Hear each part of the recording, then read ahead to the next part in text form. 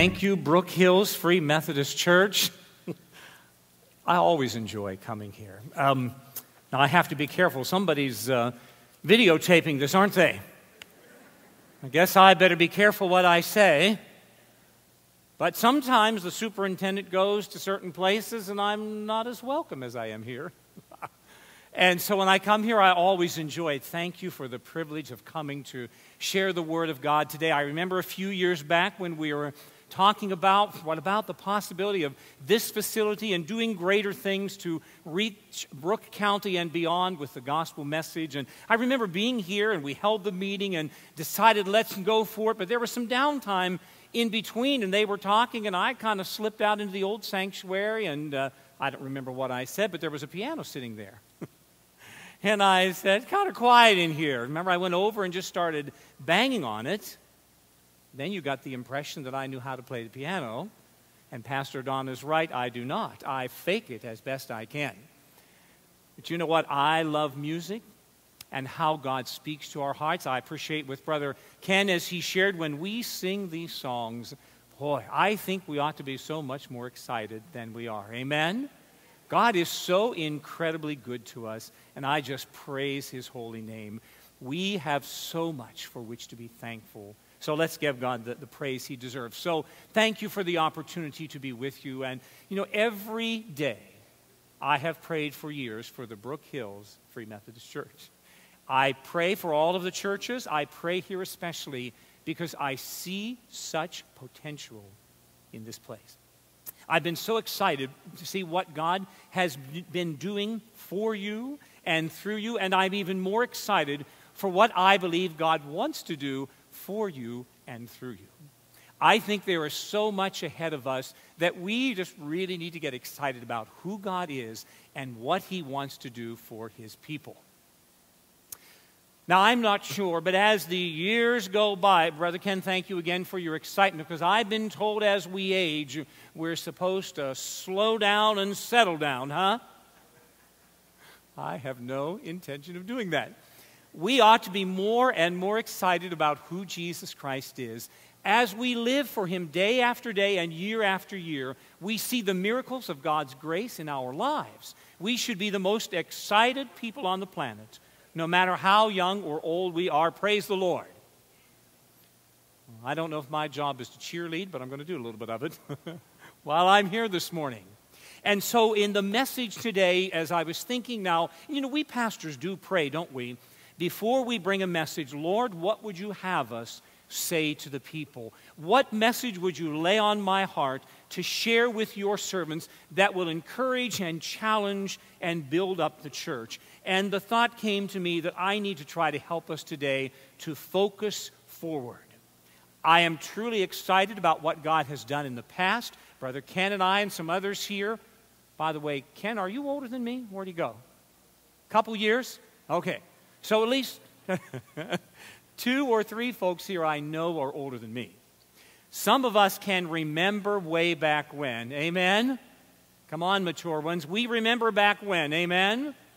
And all we could tell you stories about revivals, about people coming to faith in Christ, about lives that were transformed through the power of Jesus Christ. Isn't it exciting? Is God done? Is he tired? Has he run out of energy?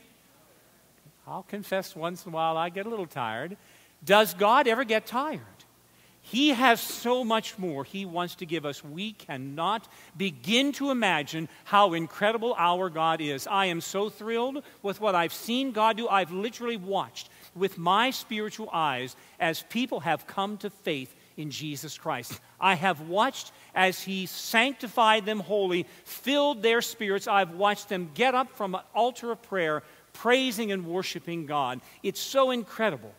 But I want you to understand there's so much more God wants to do.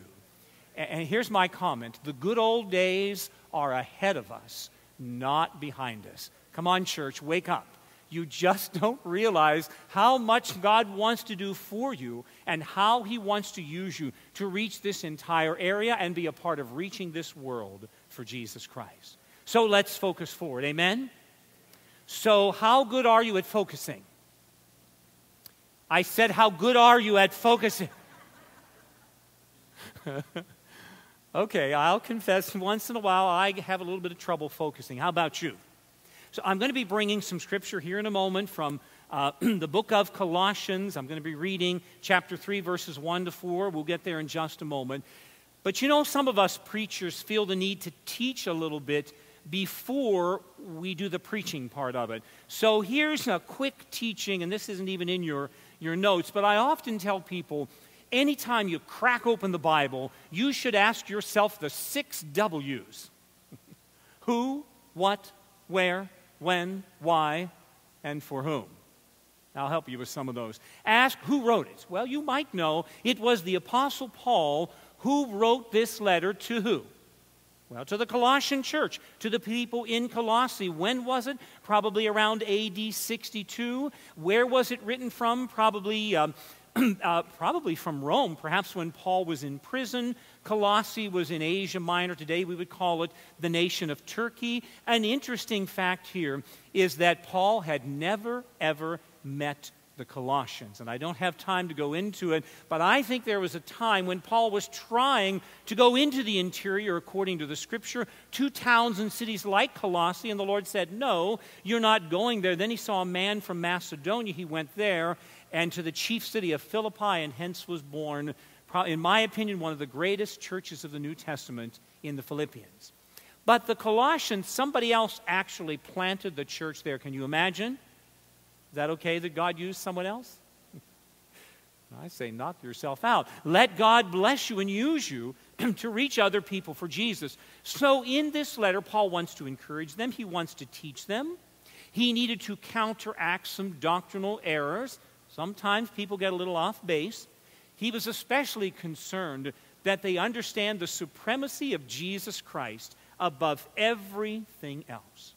And so, in this portion of the letter, Paul is attempting to get the Colossians to focus, to focus their attention on proper things. May I suggest, church, we need to do the same. That's a good place for an amen. Yes, thank you. We need to focus on the right things. So let's give it a shot here. You know, here's what I've discovered it is so easy to get distracted. Would you agree? Huh? Have you ever been praying and, and you promise you're going to pray. You're praying for the church, praying for the pastoral and the team here. You're praying for your family. You're praying for needs. And then does your mind ever wander? Because I'm praying, I'm thinking now, did she say a gallon of bread and a loaf of milk when I was oh, you the, the, the mind just does things like that, right? It's easy to get distracted. How about when you're reading the Bible? I have gotten to the end of a chapter and said, What did I just read? I have no, I couldn't remember a thing. It's so embarrassing. So I go back and start over again. It's easy to get distracted. It is hard to stay focused, I think we would agree. All right, let's give it a shot here. Colossians chapter 3. I'm going to read verses 1 through 4, and let's see if we can find some help from the inspired Word of God on how to focus as we should. Here it is Colossians chapter 3, beginning at verse 1. Since then, you have been raised with Christ. Set your what? Your hearts on things above, where Christ is seated at the right hand of God. Set your minds on things above, not on earthly things, for you died, and your life is now hidden with Christ in God. When Christ, who is your life, appears, then you will also appear with him in glory. Well, praise the Lord. Amen. Let me pray for us. Heavenly Father, thank you for the incredible plans you have in store for your people. Thank you for this inspired word. Help us to understand what it says, and especially help us to find the courage to take the truth of your word and apply it to our lives. In Jesus' name we pray. Amen. Amen. So, forward focus. By the way, there are sermon, sermon notes there in your bulletin. That's kind of neat. If you want to fill in the blanks, do it. If not, tear that part off, fold it into the shape of an airplane. And when your neighbor starts to nod off on me, pitch it across the aisle, okay? All right. Now, there's an introduction there that says, How good is your eyesight these days? Okay, who's been counting how many times I do this? How well do you see the sights around you? In today's message, we will endeavor to determine where our focus should be, and we will do so with the help of the Lord and His inspired word. So, which way should we be focused? I'm here today to tell you listen to me, Brooke Hills Free Methodist Church. We are to focus forward. We are to look ahead. We are to get excited again. We are to get enthused about who God is, what He has done for us, what He wants to do for us, and the incredible ways in which Almighty God wants to use you. Well, how can it happen? Can we do it if we're half hearted? Kind of put a little effort into it? Look at the first point here set your hearts on things above. Set your hearts on things above. Verse 1 says, Since then you have been raised with Christ, set your hearts on things above. Why? Where Christ is seated at the right hand of God. Oh, a church, can you see Jesus? Can you see him, the risen Lord? And I prayed many times before I got here, and again when I got here, Lord, please don't let them see me. Let them see Jesus in me. you know, I love people that when they're nice to me, I, I know I'm, I'm getting old and I'm getting uglier with every day that passes. I'm sorry, that's just the way it is, and I can't change it. So yesterday I thought, you know, my hair was getting kind of shaggy. I better go get it cut. And there was a special deal at one of these places. And I walk in, and there's all these young ladies cutting hair. And I walked in a little further, and it's all young people. Kids, they look like to me, getting their hair cut. And the one young lady was nice, and she said, Well, come over here and sit down. And I looked at her and said, Ma'am, do you allow ugly old men in this place? and she said, Now that's not nice to say about yourself. Why, you're the best looking one in here today. I said, Child, they trained you good. you know, um, sometimes I, I wonder are we really focusing? I'm thinking, take a look. No, you know, my grandkids think I'm, they kiss me all the time. God bless them. I must not be too ugly for them. But take a look. I'm getting old. I'm getting ugly. I cannot change that. But let's focus not on the negative, but on the positive. Look at Christ, Jesus, who is seated at the right hand of God. So, why do we set our hearts on things above? Here's why your heart is the real you. It's what's inside you, your inner desires, your deepest longings, what you really want. And here again, isn't it so easy to get focused and concerned about the stuff that isn't of eternal importance? Do you understand what I'm saying? Now, we're all human, and we might worry about how to pay the electric bill, or about a physical problem, or about a people issue, but the Bible says, set your hearts on things above. We need to look up, not out to get the encouragement we need. Have you looked at this world recently? you got any concerns? I'm not even going to mention politics. Notice how I slid that in there? Do you have any concerns about what's happening in our nation and in our world? It can be downright depressing. We need to focus. What I'm saying, church, is we need to focus on Jesus Christ he changes our lives and gives us something so good to look into. Focus on Jesus. We look up because He is there, and we need to see more of Jesus and less of this world. We need to focus on who He is and all He has done for us. Is it easy to forget? I'm finding it easier as these days go by. It's harder to remember. It's so easy to forget. Do you remember what Jesus did for you? Do you remember that he died on the cross to pay the price for your sins? Do you remember that he rose again in power and victory? Do you understand that he loves you, that he has compassion, that he has grace, that he has the power to do anything in your life that needs to be done? Do you remember that? Don't forget who Jesus is and what he can and will do as we believe and trust in Jesus Christ. Set your hearts on things above. The real you inside, let it be focused on Jesus. He will draw you to him, and all of the other stuff will fade in importance. You and I need to see Jesus every day and throughout the day. All right. So now that I've said that once, I don't have to emphasize it anymore ever again, right? Let's look at the second point. Then the Bible says, set your minds on things above. Well, I'm like, all right, Paul, you told me once, set my heart, that's the real me. Why does he have to tell me again? Let me ask parents here with younger children. The first time you tell Billy to clean his room, he does it like that, right? huh? First time you tell little Susie to help out with the dishes, they're done in five minutes and they're spotless, right? And you're saying, Superintendent, what planet are you on? Huh? We need, and you know, it's easy to pick on the kids, isn't it? Oh, oh, don't get me started on us adults. Because we know better, don't we? Come on, don't we understand what we're supposed to do as Christians, how we are to live? We shouldn't need to be told again and again, but we do. So the reason Paul says here and repeats it is for the same reasons that we set our hearts on things above. Our minds need some positive encouragement too. And God Almighty knows the powerful influence that the mind has over a person. Years ago, someone said, You are what you think. Actually, the Bible kind of says that too. Let me give you another verse here. Uh, Philippians chapter 4, verse 8. And I call this mind food.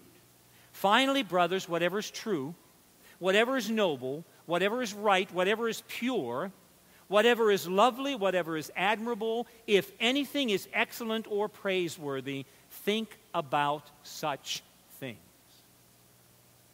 Well, how important is this? how important is it to keep our minds focused on things above? But to try to drive home this point, let me tell you a little bit of a secret here about us preachers. Most preachers like to preach. Have you noticed that? And they talk and they talk and they go on and on and on, right? Don't say amen to that one. That was a trick question. But honestly, in almost every message, there are one or two good gems that you need to take home with you. And Lord, forgive us, but a lot of the rest of it you can just toss out, okay? I'm preparing you. Here comes the gem. Other than the scripture itself, here comes the gem I want you to remember from this sermon. We're prepared? I'm going to put it up on the screen here. Every spiritual battle is fought and won or lost where?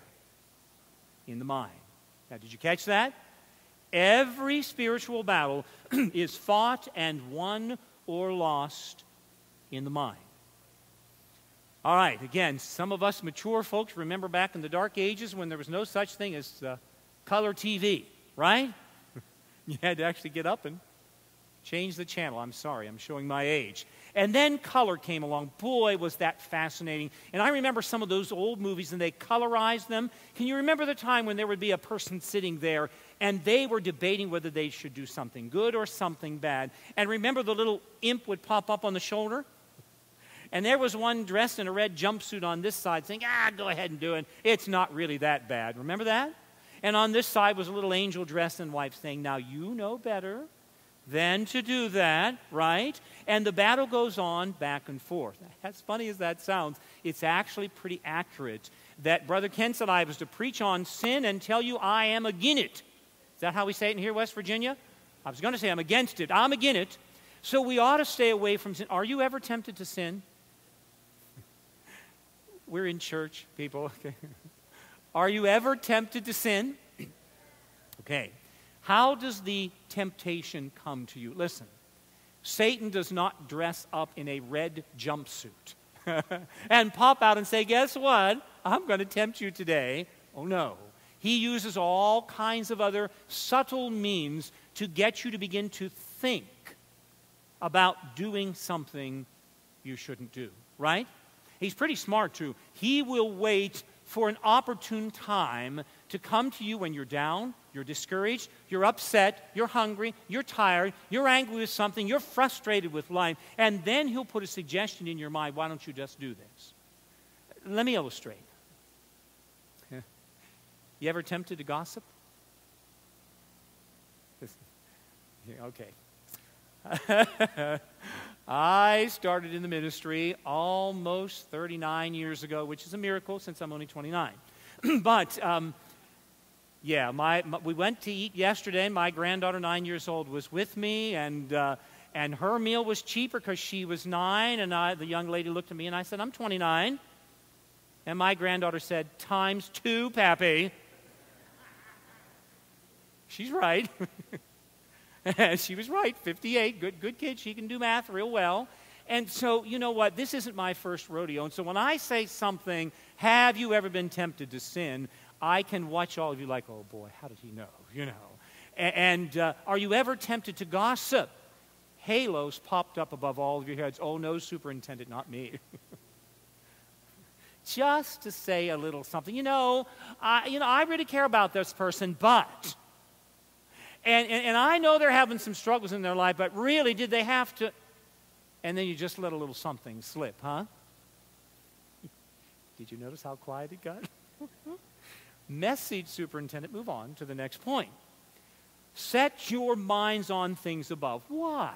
Because we need to see Jesus, don't we? All the time. He'll keep us straight every morning. I am faithful to do my exercises because I'm old and I'm trying not to get old too fast. And there is in the room where I exercise at home, there is a big um, plaque up on my wall, and it's a picture of the cross down at Jumonville. I'm from down that way. I know you're from West Virginia. I'm only seven miles north of the Mason Dixon line, so I'm close. And there's this big cross, and someone gave me a picture of it. And I look at it, and I'm exercising, and it gets harder as the years go by. Amen? But then I look up and I see the cross, and I think of Jesus, and I think, He didn't give up on me, did He? He didn't stop. He didn't try to make it easy. He didn't try to bypass God's plan for his life. He was faithful to the very end. And frankly, folks, you and I need to be faithful as well. Focus on Jesus, not on earthly things. Why not? Because this earth is a mess, don't you agree? The problems abound all over the place. Do you really want to focus on that? What happens when you focus on earthly things? What happens? You're focusing on the bills. You got any bills? Because if you don't, the rest of us will share. huh? Do you have any problems at work? Do you have any uh, people problems? uh, move on. Any family issues in your home? Maybe there are some health issues or other situations. What does it do to you when you focus on earthly things? Does it change you at all? Hmm? Uh, does it bring stress into your life? Tension, headaches, can even get you depressed, right? Listen, God understands, doesn't He, who we are, where we are, and all that we're struggling with. The point is this set your minds on things above. You don't ignore the issues in life, but your focus, your focus is on Jesus Christ who is above. All right, let's see if we get this. First of all, set your hearts on things above. Secondly, set your minds on things above. Third and finally, set your life on things above. Your life. Here's another verse, uh, verse 3. For you died, and your life is now hidden with Christ in God. You know, I can imagine others looking at the church when we read stuff like this and saying, Are you people nuts? Actually, there's a part of me that wants to say, Why, yes, I am, and happy in it. Yes, I am crazy for Jesus. You just complimented me. You didn't insult me. Yes, I'm crazy for the Lord. The Bible says you died. You died. And now your life is hidden with Christ in God. You died to what? To sin, to the old way of life, to the emptiness. I do remember, even though I'm old, I remember being a teenager and my friends telling me, oh, Jim, you are missing out on so much because I was a Christian. They told me all the fun that I was missing out on, and I thought about that. Ooh, what if I am? and then I observed their lives and some of the stuff they did. May I testify to you today, decades down the road, I am so glad I missed out on a lot in life. Amen? I didn't do the stuff, didn't destroy my family, didn't destroy my body, didn't do anything like that. Not because of me, but because of who? Because of Jesus Christ and the changes he's made in my life. So you've died, now your life is hidden with Christ in God. Is that radical? Well, praise God. Christianity is radical, isn't it? Everything I have does not belong to me, but belongs to Jesus Christ. So let me be philosophical for just a moment. What is life? Why are you here? I'm glad you're here, by the way. Why are you here? But what, by that I mean, what are you doing with God's precious gift of life? Where is your life headed? Are you happy with the direction? Is it going? Listen, I have a lot of people that I've reached out to and spoken to recently. Their lives are a mess. They are not happy with the direction it's going. And I want to be careful here because I'm deeply concerned and burdened. But I read my local newspaper just about every day, and my heart sinks when I read the obituary section. Do I have to say a lot more? And they're 22 or they're 35. I'm thinking, you know what I'm saying, don't you? There's stuff going on in our world today. In church, we've got to get out there. We have to reach these people. They have to know there is something better, and the something better is Jesus Christ. Your life is now hidden with Christ in God. He will change you as no one else ever can. Where is your life headed? Well, if you know Jesus as your Savior, you are a Christian, right? A follower of Christ. Your life belongs to Jesus Christ. Am I allowed to preach? Your life belongs to Jesus Christ, so act like it. I love you, I really do. And listen, I understand the battle and the struggles, and I get upset with myself every day. I never feel at the end of the day that I've done everything the Lord wanted me to do, and I kind of kick myself. But I want to challenge us, folks. If we say we are followers of Christ, let's follow him. Let's be dedicated and faithful and consistent and live a life that is pleasing to Him. I'm concerned for God's people. We get way too distracted with the material things of life. I'm getting old fashioned, Lord But I don't see a change in the Scripture, do you? Listen, God knows we're human. Thank the Lord He does. He knows we have needs and responsibilities like everybody else. He knows that we need food and clothes and a place to live and all of that stuff. But we also know that God will take care of all of those things, doesn't He? All right, God is so good. We could, and so many of us here could pop up and say, Oh my goodness, how God answered this prayer and performed a miracle in our lives. Praise be to God. For those who know Jesus personally, listen, the old life should be gone, right? I mean, listen, my Bible says you died. What does yours say? You died. That life is gone, buried, gotten rid of forever. Now the focus, the focus should be totally transformed. For how long? As long as God gives me breath. As long as He allows me on this planet, it is Jesus Christ who changed my life over 50 years ago, and it is He who sustains me to this very day. I want to serve Him until the day God calls me home. Listen, church, this is not about you. It's not about me. This is all about Jesus Christ and His will for our lives. We've got to understand who He is and His power and His grace and what He wants to do for and through His people. The Bible says, yes, your life is now hidden with Christ in God. You want to be somewhere else? I tell you what, I just want to be closer to Jesus Christ.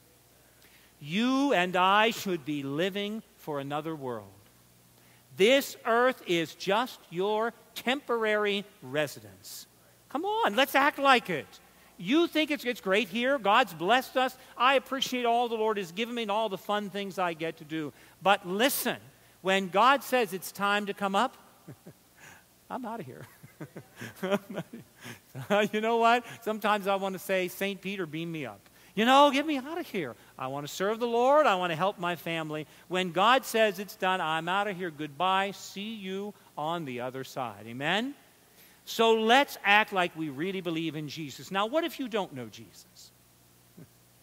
well, you need to.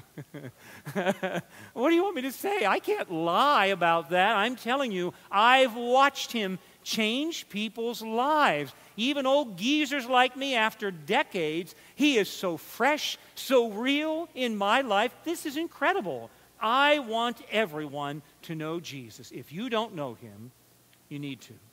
And then your focus will be on the positive. Then you will receive the power for all of the challenges that you face in life. Come on, church. Isn't it true? Everything you ever need, God will provide for you. Now, here's what, here's what I think you're thinking. But, Superintendent Jobs, you don't know what I have been through. You don't know what my life is like. You don't know what I've done. You don't realize the mess. I probably don't. So what? Jesus does. there is nothing about your life that Jesus Christ cannot, in one instant, with his divine touch, transform your life forever. This is incredible. This is great. And we should be excited. So don't look back, look ahead. Don't focus on your problems, focus on Jesus Christ. Amen? Let's focus forward. I want you to hear me, every individual here, and Brooke Hills Free Methodist Church, I want you to hear me. I know there are challenges, there are struggles, and it would be easy to focus on that. No. Let us focus forward on Jesus Christ. You cannot begin to imagine what it's going to be like. As you believe Him, trust Him, follow Him, and obey Him, He will bless you individually and this church in ways you never dreamed possible.